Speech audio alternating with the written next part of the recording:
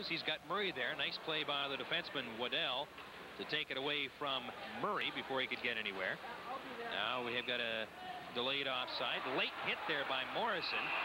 And now Young will come into the play and tempers flare once more as all 10 skaters by that penalty bench.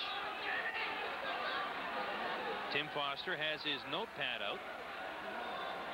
And I don't think